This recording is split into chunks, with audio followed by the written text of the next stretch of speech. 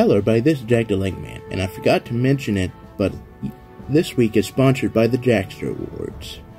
But for today, I'll show you how to build Superman's pal, Jimmy Olsen. For his hair, head, and hands, I would use Ron Weasley's from set 75950, and I would use President Business's torso from the Lego Movie 2 CMF series. I would use regular khaki legs, and I would give him a camera since he's a photographer. Anyway, that'll be all for today and goodbye.